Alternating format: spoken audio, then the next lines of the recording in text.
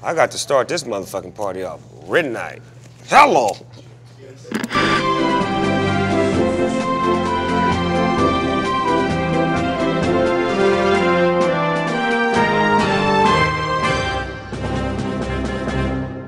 Ladies and gentlemen, boys and girls, players and pimps of all ages, shapes, sizes, and colors. It's your host with the most, Finding Nemo, aka Nemo Hoes, and you inside the GGN News Network. And today I got a very special guest, one of my young homeboys from the LBC, North Side that is. Give it up for my nephew, Vince Staples. What it do, nephew? Chilling, man. Ain't nothing, man. Ain't nothing. Man, how you been, dog? I'm good, just working. I'm trying to figure it all out a day at a time. So you having fun? Yeah, man, this, this is way more fun than whatever I'm used to. So I'm just, you know, I'm taking it all in, just trying to know what the next move is gonna be. Man, it says you was born in 93. Man, my first album came out in 93. That was a couple months before I was born. I'm saying. You know what I'm talking about? That's a good thing. So what what was the music that made you want to feel like you could rap? Man, you know, it's crazy. It wasn't even really the music that made me want to think about it. It was, it's just something that happened. It just kind of fell into my hands, you know. I got in a little bit of a situation, so I had to, you know, stay out the way. Mm-hmm. So I was just with, it was, we was living by the park. It's like the homies over here and some other, only other people I knew that I was close to my house had ended up making music. And then I just I started kicking with them a little bit.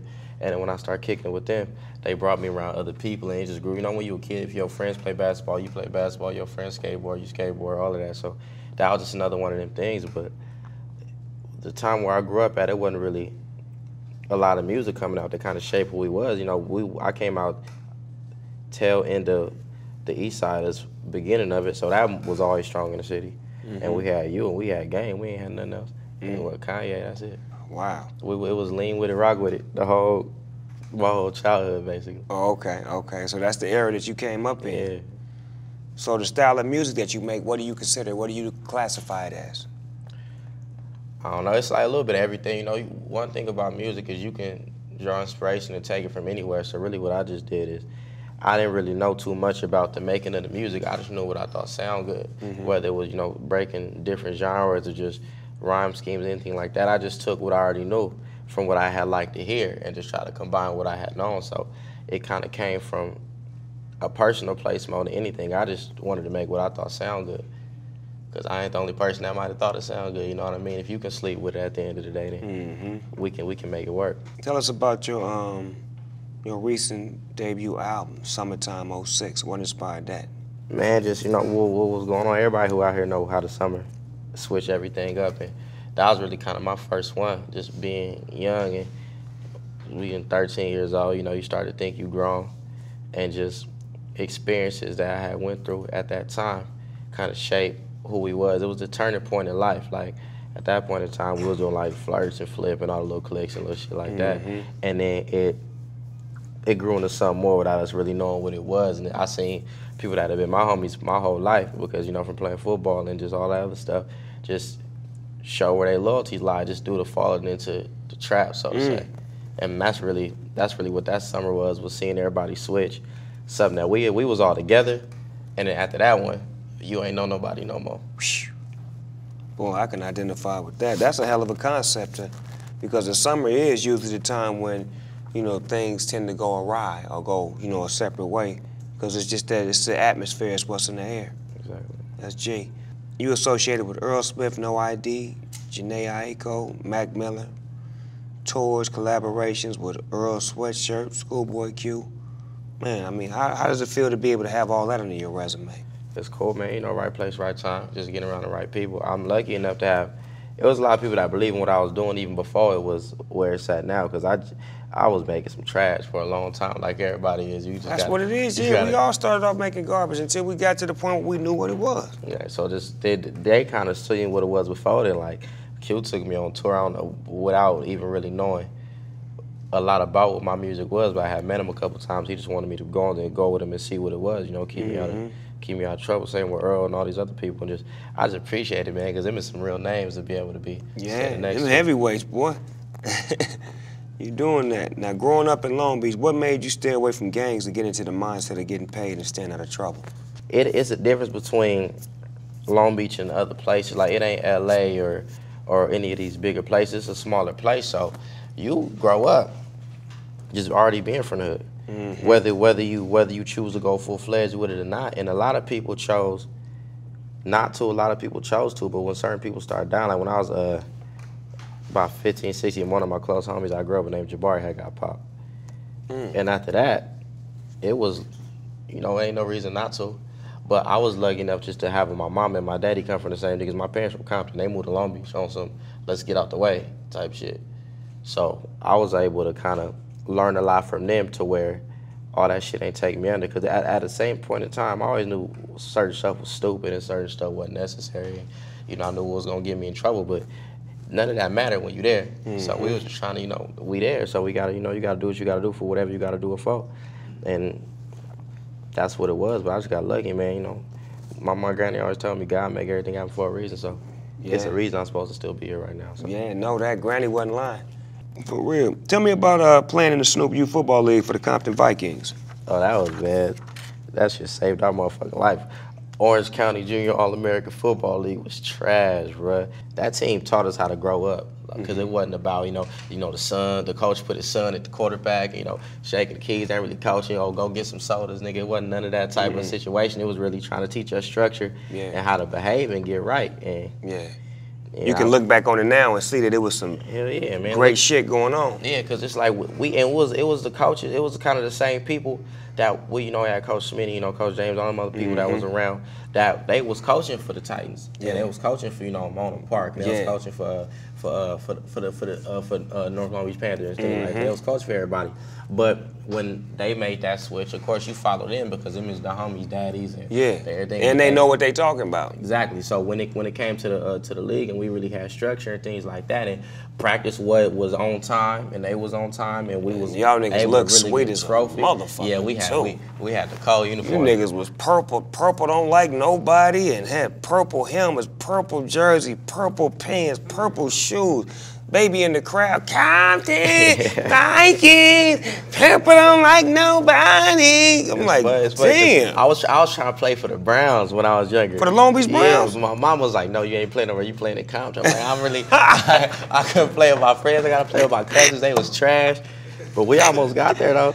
See, that's a good thing that you came out to SYFL and you pursuing other things like music. They need to know that all the homies that come out the league – not gonna do football. They're gonna be inspired to do other things, and them teachings and them lessons that you got help you along the way. You know what I'm saying? Like you said, it gave you that structure. structure yeah. Because a lot of times, especially with my dad going out of and stuff like that, you don't really get time to really appreciate that much. A lot of times, people chug up a lot of things that happen in you know black communities and you know Latino communities, things like that, just a bad parenting. But sometimes it ain't that. If your mama got to work all day and all night to pay the bills, this certain shit she yeah, that ain't bad parenting. She got to hustle to get the money. So when it came to the coaches and just just being around them other kids and other parents at, this, at, at, at all the games and at the practice and stuff, that taught us what it was supposed to be. Like it's supposed to be. You're supposed to be in line. You're supposed to mind the adults. You're supposed to pay attention. You're supposed to, you know what I'm saying? And it exactly. teach you to, to be like that when you're away from them too. On everything, and, and that helped when you when you when you get in the streets and you're doing the wrong. It, that lets you know mm-hmm. you get you got your own mind because you mm-hmm. can talk that your own mind. You still follow your direction, follow your guidance. Because yes, a lot of times you understand these, these older niggas ain't trying to get you in a lot of trouble. I wish we would have listened to what they were telling us when we was 12, 13 years old. I was just talking to the homie right now. One of my homies just got 50 for the life. And I ain't talked to him since he got sentenced. Not talked to him then. He, you know, he got the smile on his face and all that. It's like, at the end of the day, like he just want to be there for his daughter, and like we should have just listened. Mm. And it's crazy because he told me I was like, yeah, you listen. He's Like you one of the only ones was listening, and look where you at now. So I just I appreciate all of that. I just take that shit serious because it's real. It's like the the chosen ones. That's what we do. We we are the example of, of having our own mind state because we all have to make them decisions. We all got that day where it's like either we gonna go full fledged gang banging or we gonna find a way to find this music path, even though it ain't making no money and I really don't know if it's right. I'm not even that dope, but fuck it. I'm gonna try my hand at this because I see this shit really ain't me. I don't really wanna go out like that. I had a teacher named Miss Brown. When I was I got kicked out of Jordan, I was going to Mayfair for a little bit and I was playing football and basketball and I wasn't really going to class. And it low key made me hot when she first said it because she was just a little white lady. And she was like, You gotta think what's more important. You get good grades, you're not dumb, you just don't do your work, you don't come to class what's more important, your life or the hood? And I'm thinking like she trying to be funny or some shit, but she was being for real. And that, mm-hmm. now that I look back on it, as far as music go, without y'all, or in, in Sublime, it ain't no Long Beach music currently, and it ain't never been nobody to really come out on the north. Mm-hmm. And that's because it, it, it's just been a it's a common everybody close common denominator. is Everybody hate each other. Like Yeah. on the east side, you know, he don't, don't fuck with him, but his cousin is his baby mama. You know, everybody can get along a little bit. You know, Yeah. see you when I see you type shit. We ain't never had that. That's why when we seen east siders and shit like that, it just made me think that we fucking up in the sense of how we carry ourselves and how we do everything. So just with the music, I just wanted to. A lot of times we don't feel the need to appreciate or do better because we ain't got no pride. We don't give a fuck about ourselves. Mm-hmm. So that's why I got songs like Norf Norf and things like that, just to give somebody a sense of, A of pride. Yeah, that North pride. And, and me, I'm from the east side, but I sold dope in the north on 61st and Linden. And that was our spot, and we clashed with the north, and they was our friends when we clashed with them because we was getting money. And then as we grew older, we learned to love them. Like the art of war breeds camaraderie and respect as well. When you clash with a nigga the nigga see that you will get down, he respect you. And that's what that did. So now it's like it's time for the North to get theirs in the music world because y'all did that from the streets all the way up. Niggas respect the North on the streets from that level. Now it's time to respect y'all music and and it's good that, you know, you got Genesis doing his shit, you doing your shit. So doors is getting kicked open. What producers do you really want to fuck with if you had the opportunity to fuck with a producer right now? Oh wow, Pharrell, definitely Pharrell. Cause he, that was you already know that was the sound we was coming up. Mhm. Definitely that. Uh, who else? Battle. It's funny. I had, I had some beats from Battle Cat when I was younger. For real? one of the first people to give me beats because uh, I used to kick it at the homie uh, studio. And they we used to do. She walked in like one day like he was fixing the vent or something. It was like y'all niggas not rapping. I need y'all to make me ten songs. And he gave the homie uh, a flash drive with like 50, 60 Was, beats. was on them it. beats knocking? Yeah, that was crazy. Like a motherfucker. I be thinking about that, like, what that, what that nigga crazy? Would he just sit here and get these niggas? We could have sold them motherfuckers and did anything with it, what it thinking. Yeah, but see, you gotta understand niggas like Battle Cat, OG. So he know if one of you niggas get on one of them beats and fuck that beat up, you hot and he back hot. That's all it is. It's True, a favor for a favor. I want snacks. I want snacks. I want snacks. But I could wait. No, I could wait. Don't worry, it's fine. Unless I could eat as we do this. Chili cheese. Sick.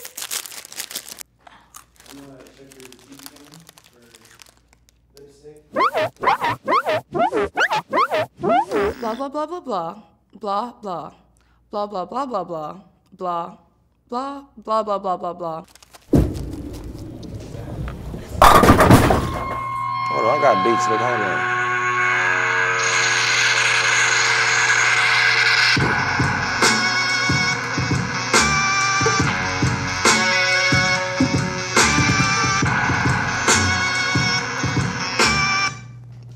Got mean shit.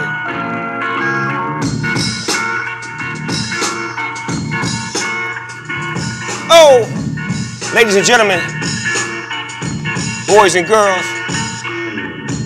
we're gonna put this shit on repeat. That beat right there, go. We're gonna go with a mean 16. Vince, what it do? Yeah, yeah, yeah. They tried to kill me in my younger day. Slave to the block, not a runaway. Funny how a nigga get a whip and run away. Funny how a nigga get a chain and run away. They try to kill me in my younger days. We was on the block like it's Hunger Games. We was from the cops like it's Hunger Games. Said we was running from the cops like it's Hunger Gang. Northside LB. Niggas can't tell me nothing. I hope the scales be tipping in my favor. I was 13 busting at the neighbors. Then I was 15 fucking on the neighbors. I had a 16 before I turned 16. 14 with an F. I made a hundred racks and gave it to my mama.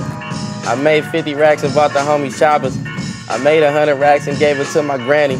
I make a million dollars when I hit the Grammys, and if I don't, nigga, so what? We got the whole Long Beach sold up. Me and Slope riding the coupe, and me and Trey D riding in the six straight. It was my dreams in my younger days. Hey, They try to kill me in my younger in my younger days, we on the block like it's Hunger Games. That was a mean 16. for We your get we. I, I got like one cold freestyle a month. The- we, can, we can go we can go off the top cold and not stop for once a month. After that, niggas gonna have to pull open that BlackBerry like Drake. We inside the Smoker Studio, everyday people, aka real nigga shit. I'm gonna ask you some questions and you can answer to the best of your ability. What's the first thing you do or think of when you wake up? Gotta brush my teeth. Get your grill together? Hell yeah. The motherfuckers be calling my phone. I ain't trying to smell that shit myself. I know that's right. Hot or cold? Uh, hot all the time. Favorite pair of shoes all time? Uh, Cement Jordan 4. Black or white? Black. Favorite drink? Lemonade. Favorite sports team? Oh man, Clippers. And it's not new. Tino Mobley. Tino Mobley, Sam Cassell.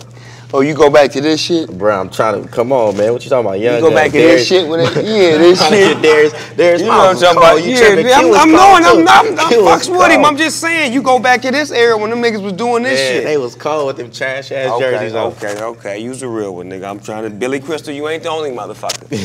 Play no goddamn games. If you was stuck on the island for a year and can only listen to three albums, what would they be? Uh, Damn. All right, I ain't saying this because you're here, but it'll be blue carpet treatment. Mmm. Nigga slept on that one. I don't care what no nigga say. I, I was talking to Q, well, Q for like four hours about that shit. He's like, nigga, nah, dog. You sound like nigga, you old as fuck. That blue carpet treatment was crazy. Uh, it's gonna be blue carpet treatment, uh, dark twisted fantasy, Kanye, and uh, shit. What would the third one be? Oh, Miss Education, Lauryn Hill. So gangster. Finish the sentence. I always wake up. I'm trying to get some money. If I could work with anybody dead or alive, I want to work with. Hmm, Nate Dogg. If I could see anybody perform dead or alive, I'd want to see. I want to see uh, Redman and Method Man. I look for blank in a woman. Shit. Quiet. Shit. Bitch, shut up. If I wasn't a boss, I'd be a.